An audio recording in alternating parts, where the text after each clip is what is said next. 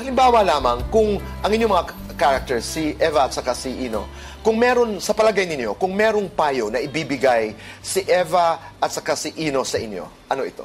Huwag ka masyado mag-computer. Pag-uusapan natin yan. si Eva, Matutong maghabaan ng pasensya. dahil sa computer games.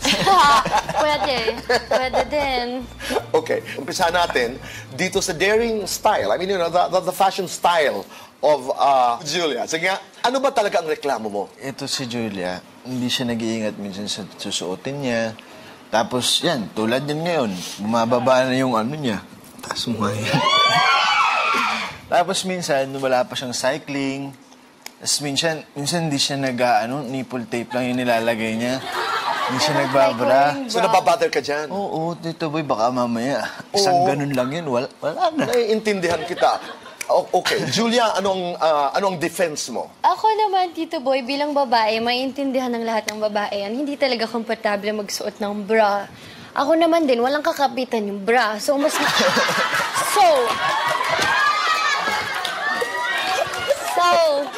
mas masakit talaga. Kasi nagtatry naman yung bra ko eh, pero wala talaga siyang kamakapitan.